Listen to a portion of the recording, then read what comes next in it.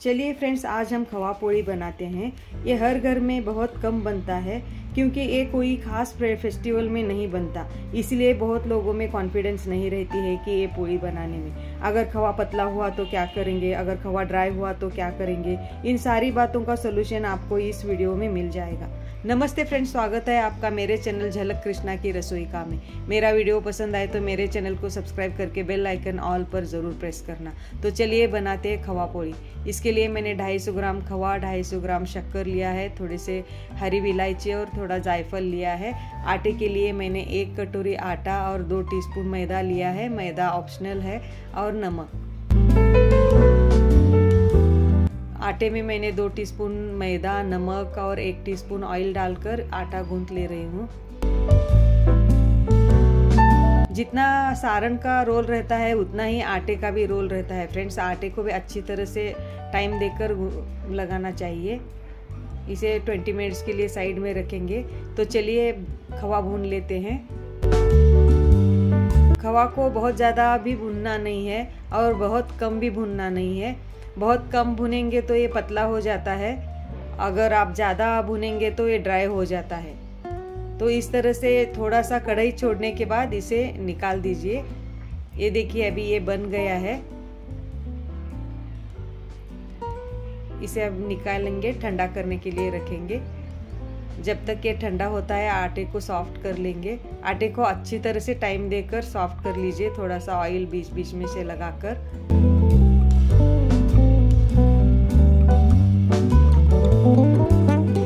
चलिए, खवा को देखते हैं। मेरा खवा तो एकदम परफेक्ट बना था, एकदम सॉफ्ट बना था।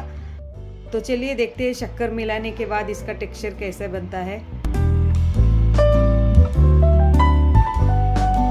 अगर बहुत ज़्यादा ड्राई हुआ तो डरने की कोई बात नहीं है फ्रेंड्स मैंने इलायची पाउडर थोड़ा शक्कर में डालकर पीस लिया था, वो मैंने मिक्स किया है.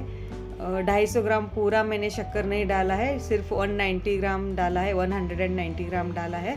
शक्कर डालने के बाद मुझे थोड़ा सा ड्राई लगा और दो ढाई स्पून मैंने घी डाला है. घी डालने के बाद एकदम पूरन जैसे सॉफ्ट हुआ था.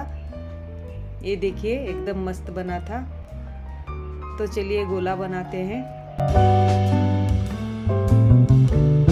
गोले के लिए मैंने नींबू जितना आटा लिया है, इसमें से थोड़ा सा घी लगाइए। घी लगाने से, घी या ऑयल लगाने से फूलते हैं अच्छी तरह से, पोड़ी हो या कोई भी पोड़ी हो। आपको जितना चाहिए उतना आप सारण भर लीजिए।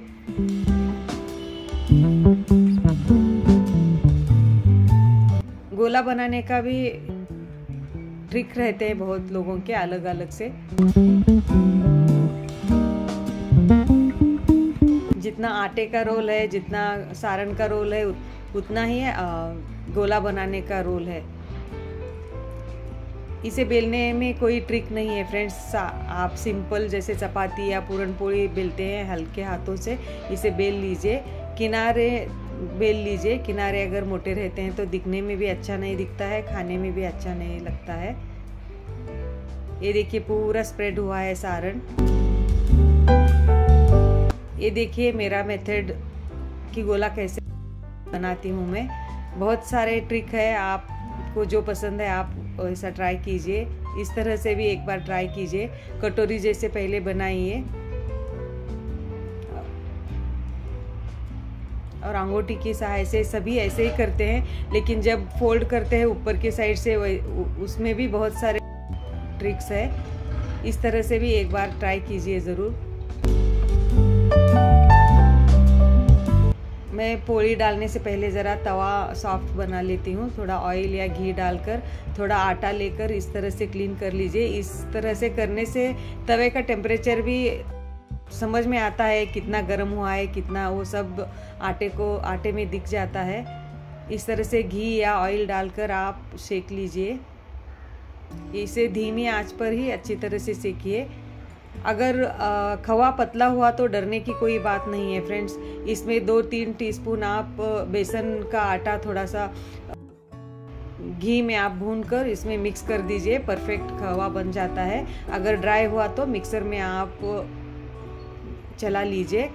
ये देखिए सारण कितना अच्छा स्प्रेड हुआ था अंदर से।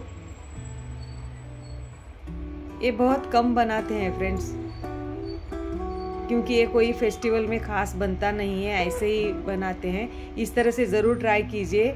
ये वीडियो देखने के बाद आपको डिफ़िकल्टी नहीं जाएगी। मेरा पूरा वीडियो देखने के लिए thank you friends thank you